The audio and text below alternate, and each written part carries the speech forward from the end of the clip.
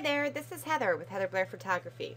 Today I am going to show you how we combined this image of just the swing with this image of the baby who is laying on a beanbag um, on top of the swing using the same backdrop to create this image. So the first thing I'm going to do is crop the picture of the baby. And what I want to do is I just want to crop it so we include the swing. Then we will take this picture and drop it into the picture of the swing.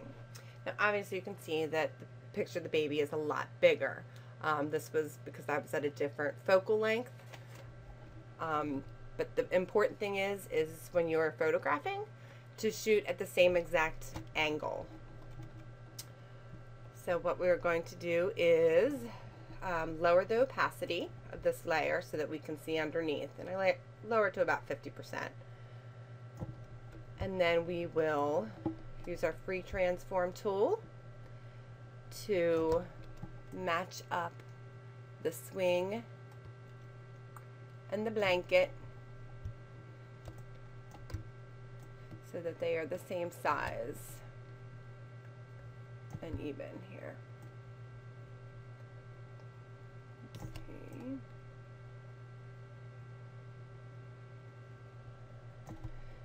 All right. Now I'm going to zoom all the way in to, to see if, if we are on track here. I need to even up the the swing and I'm looking right down here at the corner to make sure that those are even. Let's see how it is on the other side. Great. So let's zoom back out and we are going to put the opacity back up. And now I'm going to add a layer mask. give me a white layer mask. So I'm going to use my black brush. And you want to make sure that you pick a soft, soft brush. And now what I'm going to do is just erase or mask in where we don't, what we don't want showing. So I'm going to take out the bean bag and right underneath. Again, I'm going to zoom all the way in so that we make sure that we get all the important details here.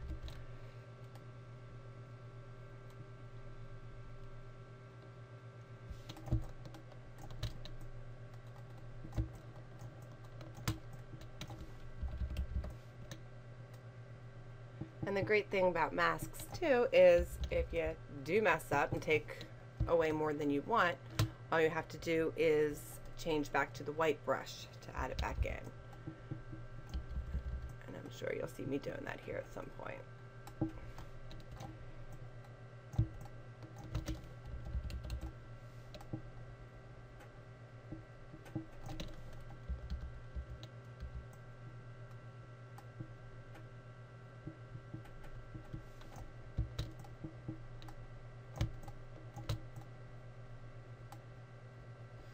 See part of this um, flower will overlap her head.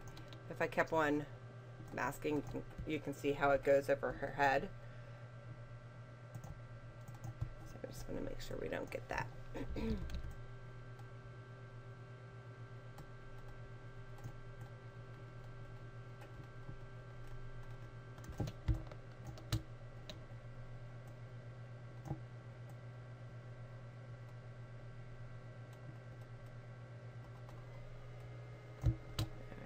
zoom back out.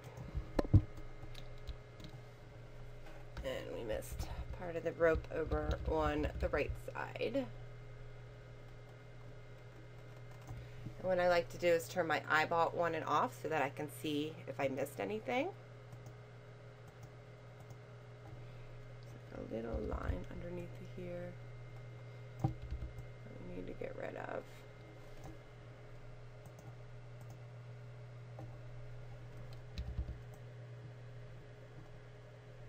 And it's important that you use the same background.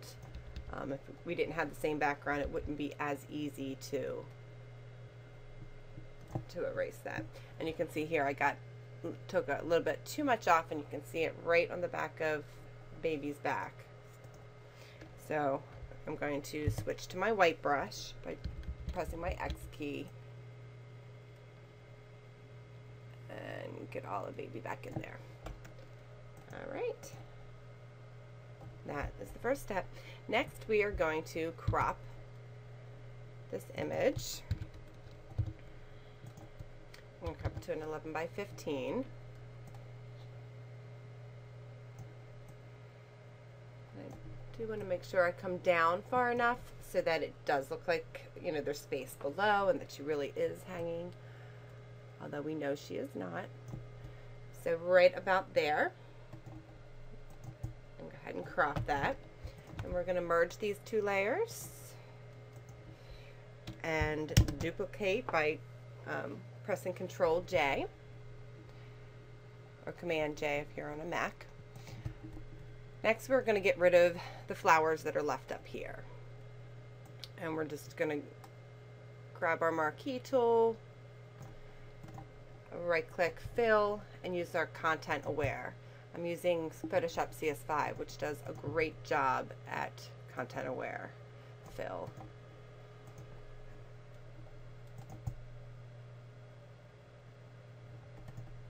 And again, we're going to turn the eye on and off. You can see that looks great. Merge these layers. And the next thing we're going to do is add the flowers that are over here onto the other side. So again, we're going to duplicate the layer, Control J, and we are going to go to Edit, Transform, and Flip Horizontal.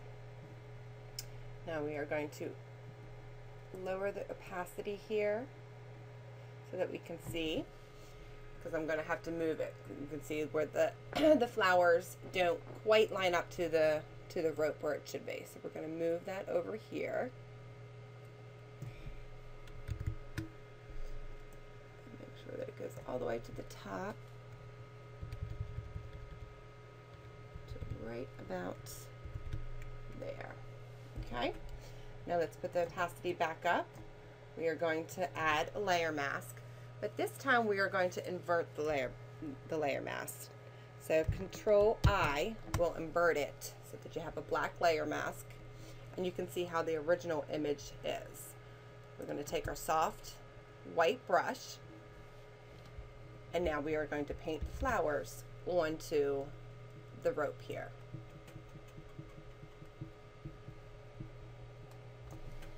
As I get down, I'm going to use a smaller brush. You can see a little bit of baby's head came back in that way. We have to watch that.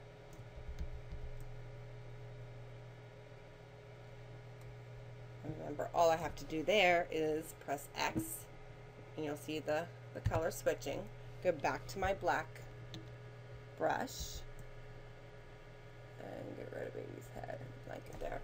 Okay, again, I am going to zoom in to see, to make sure that we got everything. And you can see here it's a little distorted. So I'm gonna add that rope back in. And a lot of times you can't see it when it's when it's zoomed all the way out like that. So zooming in is very important.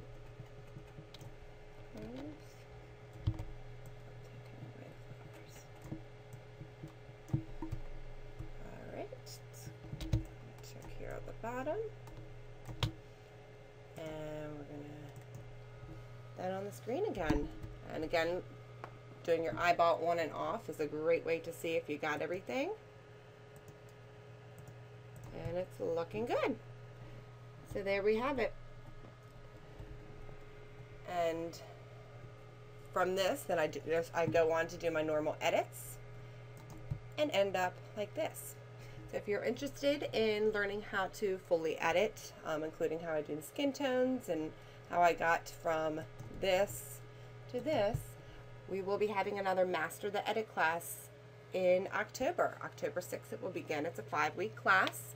Um, we go through everything from, there's two weeks in Lightroom and three weeks in Photoshop. Um, look on the link below and Registration opens on August 31st. Thank you so much. Hope you enjoyed the video.